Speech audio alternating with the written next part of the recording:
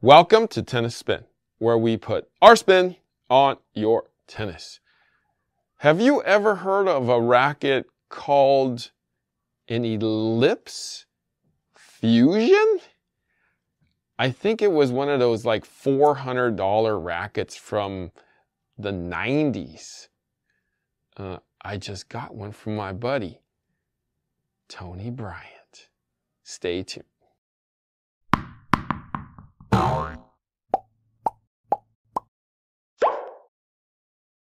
All right, guys. So, coffee sponsor of today, Tony Bryant. Tony writes, Hi there. I love all your videos on YouTube. They are very informative and fun to watch. I love your sense of humor. Am I funny? I feel like Joe Pesci. You think that's funny? You think I'm funny? Am I a joke? Yeah, I know I am. Anyways, I was wondering if you have any information on the tennis racket I have. It is old Ellipse Sport Fusion that I bought back in the 90s. I just found it packed away and I'm going to get it restrung for my granddaughter that plays with her high school team. I cannot find much info about it online. Have you ever done a video on that that I'm not finding? Oh, thank you in advance. Tony from Florida. Jim Courier's hometown. All right, Tony. So Tony and I went back and forth and he actually sent me the racket. So I'm actually going to mess with it. But before I cut it up, if you want to be my coffee sponsor of the day, network is buymeacoffee.com forward slash tennis spin. Link is below. If you want to support the channel and support my humor and my comedy show, super thanks could be the way for you. If you just hit the button down below, you can donate to my comedy club and keep the funnies coming. All right? Thank you in advance. Yeah, I never thought about doing stand up. I'm like freaking like a Seinfeld or something. I don't know how he does it. it it's it's kind of hard to make people laugh all the time. It's just that's too much stress. I'd rather be a doctor or something and, and be stressed out at being brain surgery or something like that. It's like, oh yeah, that doctor I was just in like a eight hour surgery. I'm like, damn, eight hour surgery. At least you weren't in front of an audience being like either laughed at or booed at. You know, that's more stressful to me than performing some kind of surgery. Tony, you should have been a professional packer. You did a great job. Maybe you worked at Macy's or something as a gift wrapping. Okay. Whoa, dang. Look at you go. You work at UPS store?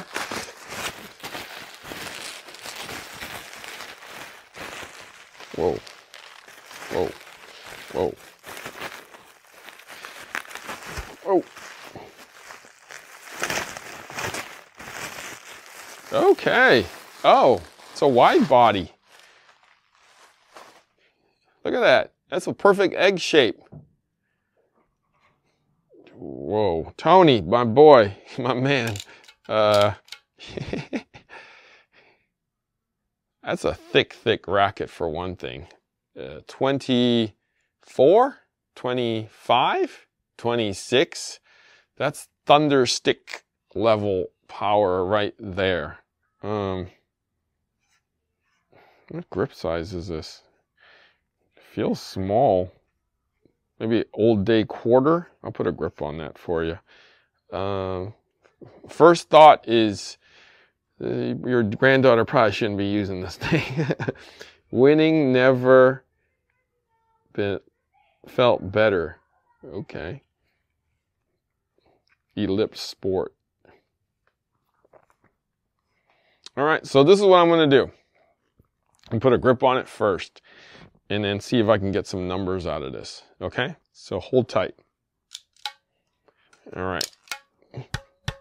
Prince synthetic gut, 16 gauge, probably back in the day.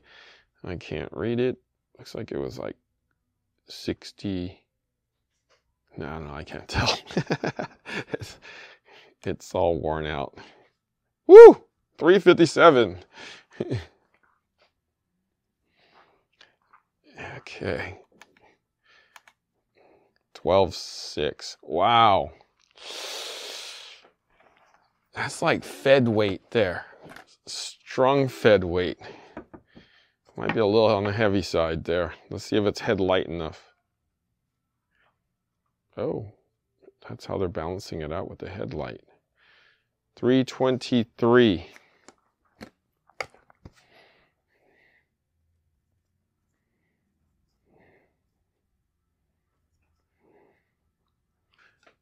All right, so let's go hit this swing weight.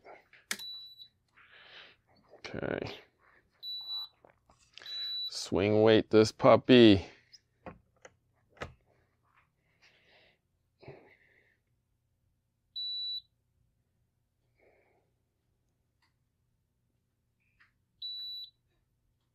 Whew, 356.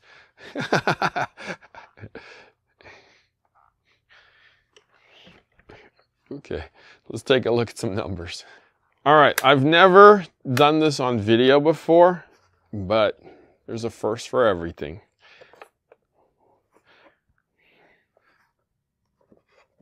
Calipers. I'm to be an architect now. So this measures thickness. I'm interested in how thick this thing is. So let's see if I can give it you an angle and give myself an angle. Um,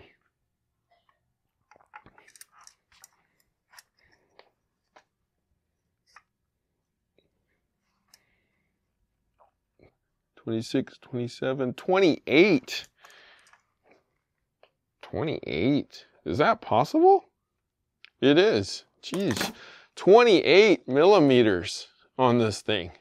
So thick, like wide body from back in the day. Hmm. So I did a little bit of research um, about the, the racket and the company. Well, first of all, heavy, eh, not horrible. A lot of weight coming through. Not as stiff as I thought it would be, but definitely this could be a different racket from, from what I was researching. So that thing is 28 on the beam. 28 on the beam is thick.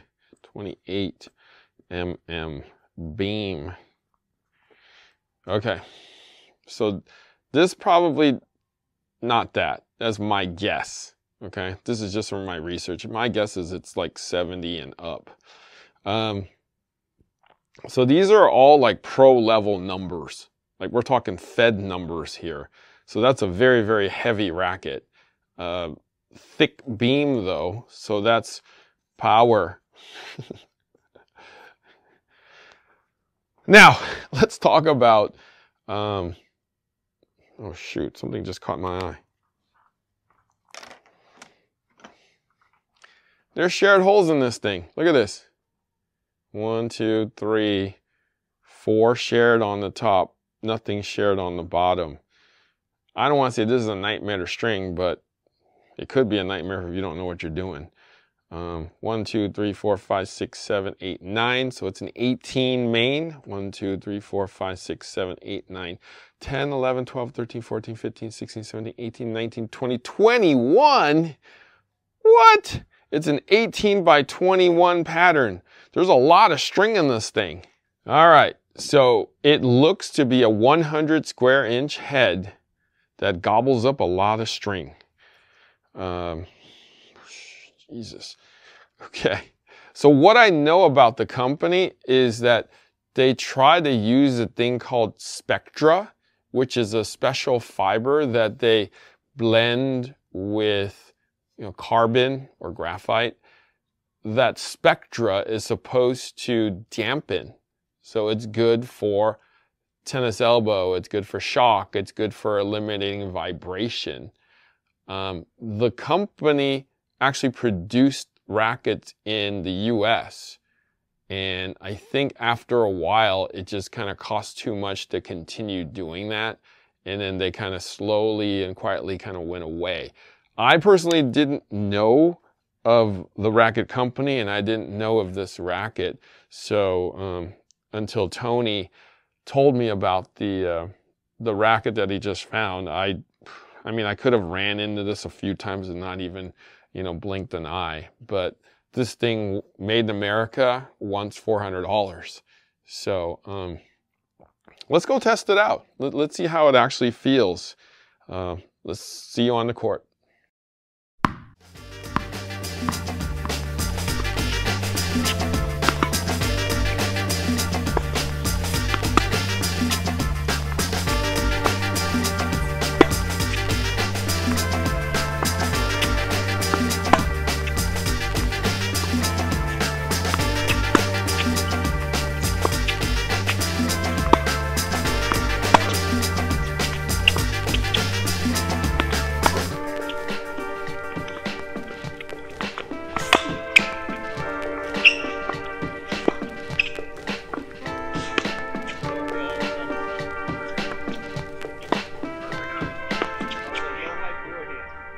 All right, so we just got off the court with the Fusion Ellipse uh, from Tony Bryant there in Florida.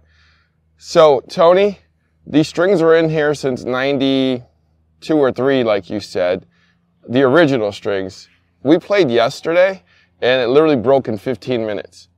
so, we had some footage, but Rob hit with it for 10 minutes, and then when it got to me, it went punk. And I was like, ah, crap. So I promised Tony I would restring it for him anyways, which I just did. And I chose head velocity 17 gauge in black. And I chose to string it at 55 pounds because it's this thick a la Wilson profile. So we're gonna, we just took it again for another spin to see if a new string job at a tight tension, newer, fresher tension, would make a difference to the racket. So, Coach Rob, what'd you think of the uh, Fusion Ellipse? Freshly strung. Man. Freshly strung. Uh, it felt better than the ones with the strings in it from uh, back in the 90s. Um, the egg shape was uh, a little interesting to hit with. Um, but it felt very like a lot of uh, dampening in it. It was very soft. Um, it's you know on the heavy side, but when you hit it, it felt really easy on the arm, and um, ball kind of jumped off the racket a little bit. So yeah, I'm sure the the newer strings made it feel better than it did yesterday, but um, yeah, interesting racket, interesting frame. So this company made rackets in the U.S. So it was it was a small company um, trying to be revolutionary, trying to be powerful, dampened, um, kind of a boutique racket company back in the day.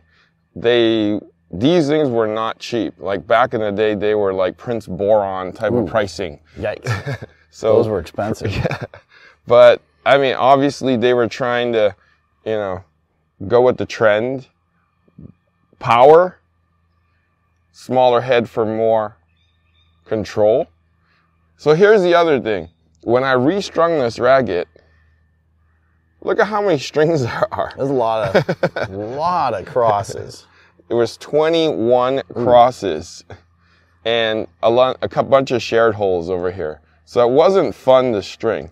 it didn't look it, like it. It took me a lot longer than I anticipated to string this racket. It, it Did was, you get about halfway through and wonder why you weren't done yet? I was, no, on the end here, I was like, why are these so tight together and it was like one string was in the other way of the other string coming in.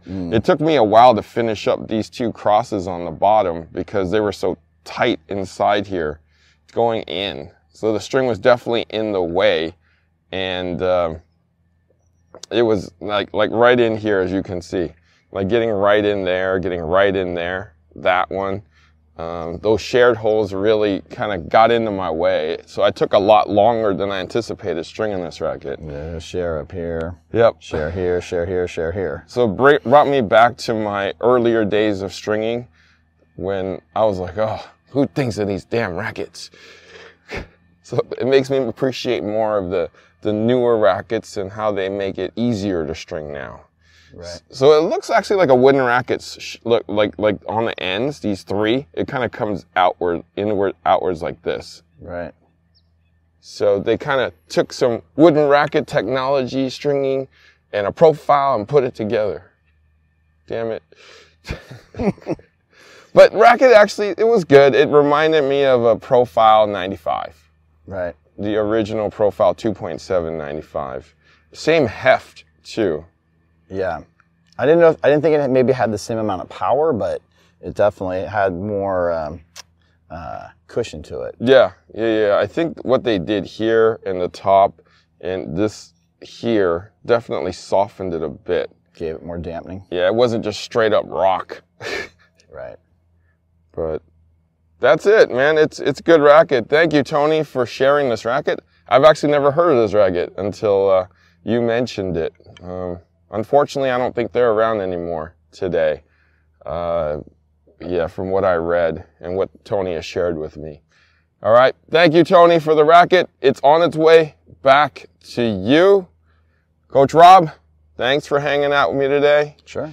As always, I appreciate it. Guys, thank you for watching Tennis Spin, where we put our spin on your tennis.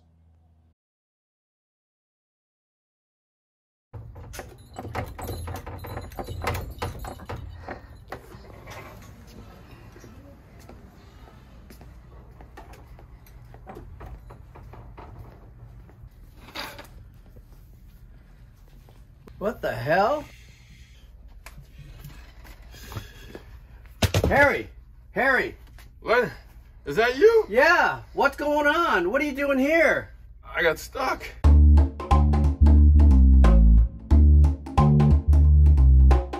Ah, you're too squishy! Come on, little dude. I'm working at it. Come on. Oh, man!